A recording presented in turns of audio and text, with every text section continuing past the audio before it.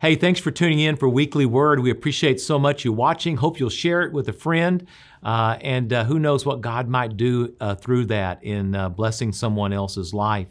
Uh, today, I want to talk to you about how God gives us guidance and God gives us direction in our lives. Uh, back in another time in my life when I was younger, I worked at a hardware store. And one of my responsibilities was to put things together. So I would take wheelbarrows and lawnmowers and various tools and instruments that we would sell in the store, and I would have to assemble the display model. And if we sold the display model, I'd have to replace it, put it together. Well, I was pretty young, and I would normally just look at the picture on the box and get all the parts, and then I'd start to work. And I learned very quickly that the reason why they enclose that list of instructions uh, is to help you. It's important. And if you don't follow them, you're liable to make a mistake. You see, God has given us instructions, guidance, not just on how to put our life together, but how to live the life that He wants us to live. In 1 Corinthians chapter 10, uh, Paul gives us a list of things about knowing the instructions.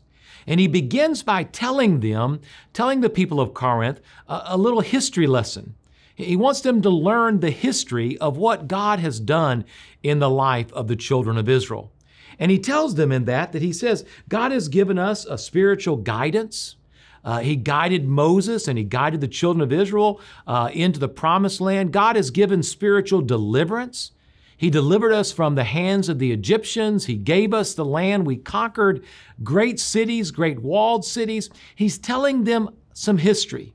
He's saying God provided for us leadership. God provided for us supernatural food and drink. He provided manna. He brought water from a rock.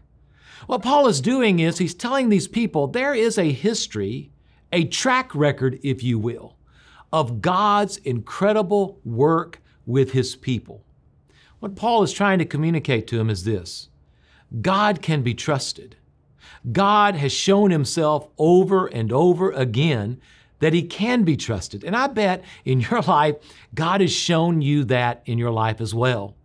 That the instructions he's going to give, the direction he's going to give, is going to be the best direction of your life and the best direction of my life. And what he tells them to do is instead of following our own instructions, Instead of following the instructions of the world, instead follow the instructions of God. And we do that when we don't turn and worship other things. He used the word idols there.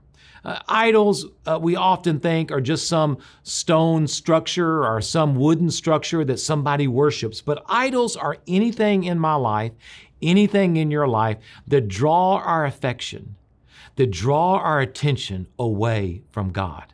In other words, it's when we turn maybe to our money, turn to our career, turn to our success, when we focus on that instead of making God the focus of our life. It's why he says in verse 31 whatever you do, whether you eat or drink or whatever it is, do it all to the glory of God. He's saying that God needs to be the focus of our lives in every way and in everything. And what he says along the journey is, he says in 1 Corinthians chapter 10, don't grumble about everything.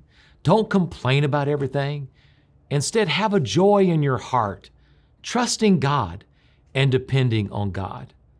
God has given us an instruction manual in His Word.